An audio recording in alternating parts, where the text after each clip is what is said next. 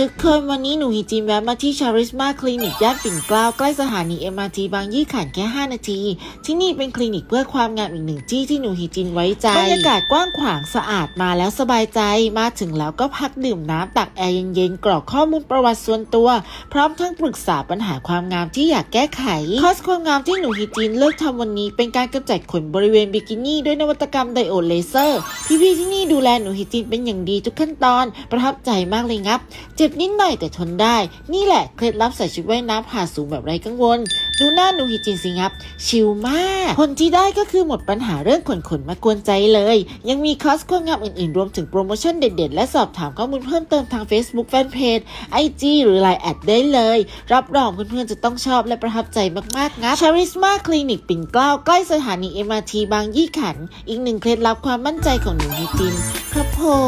ม